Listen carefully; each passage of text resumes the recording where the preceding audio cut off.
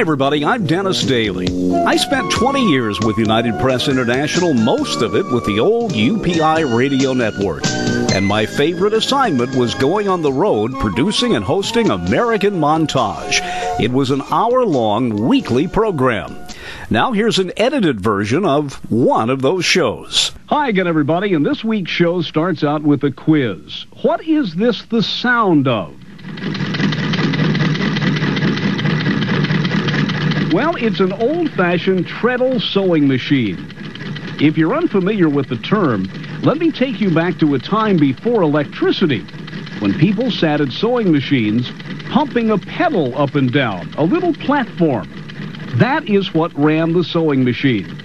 As a matter of fact, in my hometown in Indiana, my dentist with the unlikely name of Dr. Smiley, whose father and grandfather were dentists, had an old treadle-operated drill in the corner. How slow that must have been. The history of the sewing machine. More complex, more fun, and more vitally interesting than you might have thought. On this week's American Montage. In the heart of Arlington, Texas, which is that wonderful city nestled between Dallas and Fort Worth, where, well, the ballpark is there, for example, and Six Flags, the wonderful amusement park, the original one, is there, in a house a man named Frank has the most wonderful sewing machine museum. This is the 30th year that Frank Smith has shown people the history of the sewing machine, the evolution of a piece of machinery that absolutely revolutionized the way the world lives.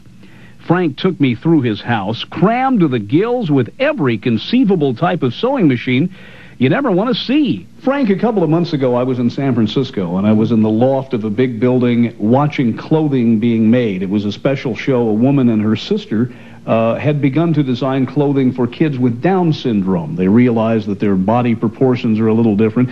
I had never seen row after row after row of women and men sitting sewing before. As I come in and look at this, and I know from what this says on the wall, your patron saint is Elias Howe. Mm-hmm. Before that man, Elias Howe, got it in his mind to build a machine that would sew, and we so blasely call it the sewing machine, mm-hmm. all of that was done by hand up until the year about what? Yes, uh, actually, the first uh, practical type sewing machine for garment making was uh, patented by Elias Howe in 1846, and it is amazing to think that maybe a thousand years on Earth, women sewed with needle and thread, and that was it. And there was nothing, nothing at all to help them. No, uh, there was uh, many attempts by people in different countries, but no one came across with anything fully patented and fully workable, usable for societies until Elias Howe. Frank, tell us a little bit about Howe, where he was from. Was was he an engineer as a background, a banker? How did he get interested in, in trying to perfect a machine to sew?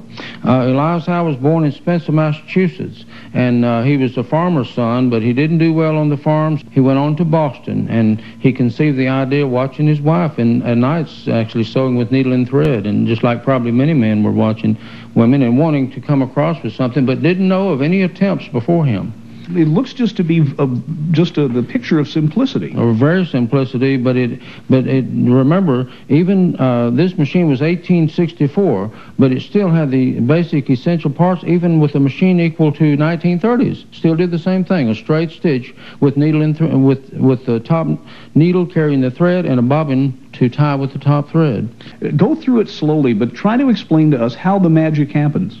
Okay, uh, the needle from the top brings the thread down. Now there's thread on both sides of the needle as it goes down. And, and when the needle reaches the bottom and starts upward, it throws off a loop, and a slack loop. And that's when the bullet shuttle, for instance, like this type, a boat shuttle with a bullet end, that sharp end is what actually grabs the uh, uh, thread. Unlike a hand needle, mm-hmm. where the ho- the eye of the needle is at the top, right. with the sewing machine, it's down at the point. So it's shoving a loop of thread down through the cloth. Right, through the cloth, and that was Elias Howe's uh, patent and uh, his idea of doing that. And and uh, when it gets down there, and the sharp pointed part of the boat shuttle grabs through the thread.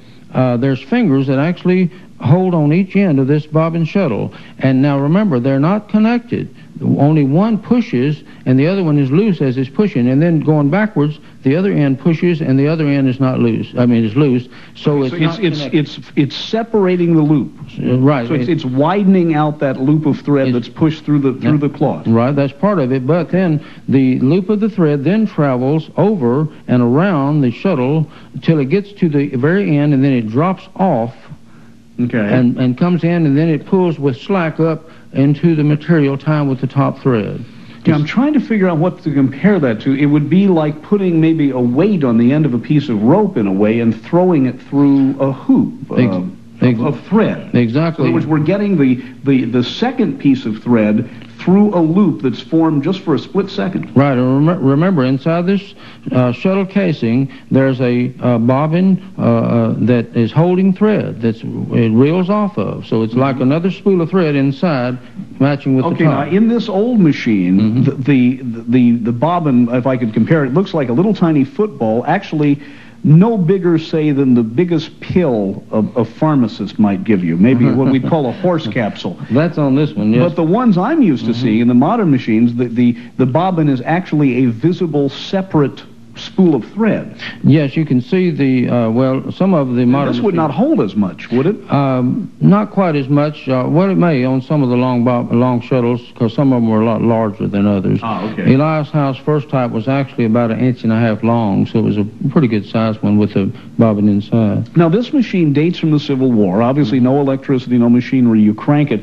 Who, what, uh, what brand is this? Uh, this one is called the Buckeye, and they're uh, quite scarce. It's the only one I'd ever found. There was a later Buckeye made, but this is the early model from around Civil War time, and it was made actually in Cleveland, Ohio. Hence the Buckeye. Right.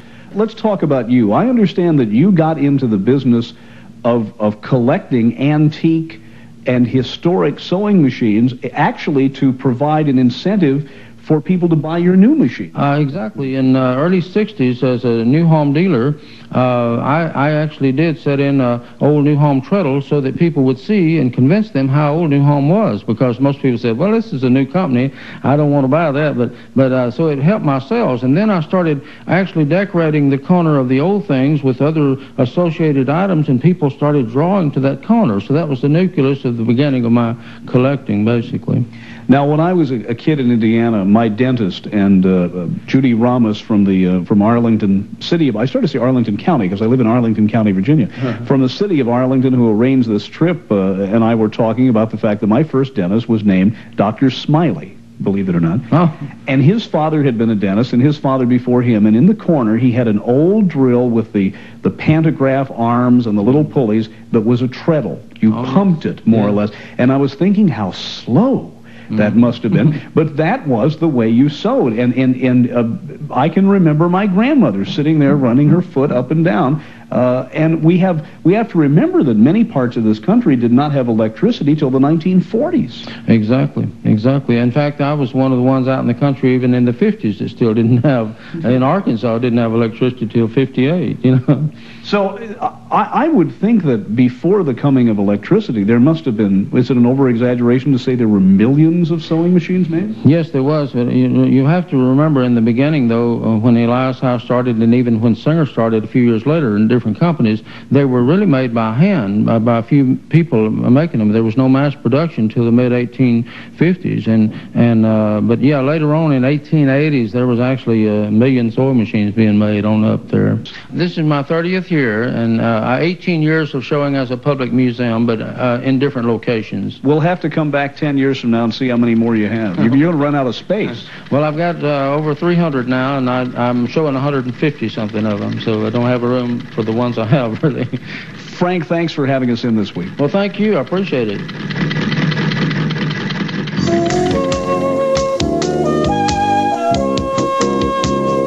And there you have it, another edited episode of one of the American Montage programs prepared for the UPI radio network back in the 1980s and 90s. I'm Dennis Daily. Thanks for listening. Thanks for going with me this week. And check YouTube for more American Montage programs.